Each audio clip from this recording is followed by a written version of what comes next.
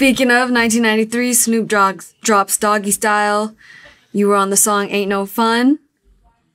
Well, actually, 92, the Chronic dropped in December. So the Chronic ran all through 93.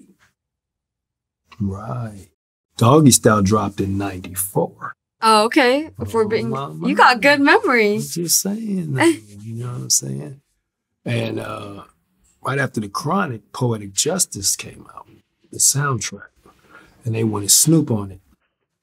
John Singleton did, and Suge was like, he got about to drop Doggystyle. He can't be on it. He can't be on it.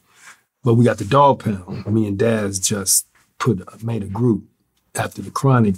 We got together. We was together all the time. You know, we just said, man, we might as well make a group because we were solo on Death Row, each one of us.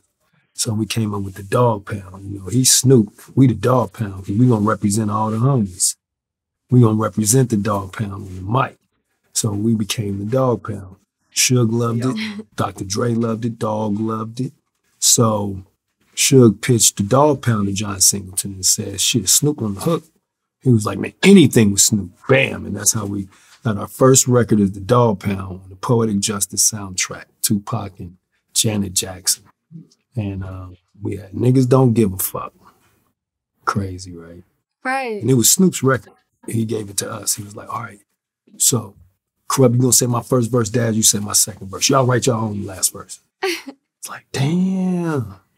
So we got a chance to be able to spit one of the dog verses. Ooh-wee. And it was a classic too. That's iconic. Oh yeah. Oh yeah. Was that the first time your song was in a movie? Oh yeah. Oh yeah. First time. First time for every, everything in the beginning of Death Row was a first. Right. First time I released a record. Uh, well, actually, I did the SOS band when I was young. I was featured on there, but it wasn't like the Chronic though. Shouts out to the SOS band. They gave me an opportunity when I was like 17. Yeah, and um, and uh, so the Chronic was my first real release uh, like that. And then after that, Poetic Justice, my first soundtrack I was ever on. And then Doggystyle, the first video I was ever I ever uh, was featured in, which was Doggy Dogg World, where I became a star. and where I got to actually rap because I was in um, What's My Name? You know, he gave me a cameo. I said, What's your name, fool? You know, Dr. Dre said, Kurupt, go in there and fill in that gap for the radio version. I was like, damn, Dr. Dre picked me? I mean, all of these things are just like, I'm just shocked. Yeah. Uh, you picked me? Okay, all right. Just say, just say something. And I just said what was on my mind. What's your name, fool? And Dr. Dre loved it. Like, ugh, Snoopy loved it. And that was the beginning of learning that, you know, my voice is an instrument. Um, and they just liked my attitude about things when I when I lay my raps, like on next episode. You know, just the way I spit, like a talk.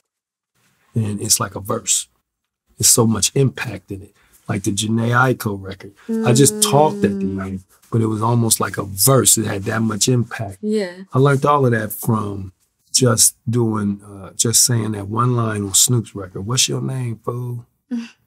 that was it. Did you feel pressure at that beginning mo- stages? Just being around such goats. No, I felt proud. Okay. I love you know it. what I'm saying? I loved it, you know what I'm saying? Right. I lived for it, you know. I still live for it, you know. Uh, it's the excitement of it, the um, the rush. Definitely. It's the mic. Right. Oh yeah.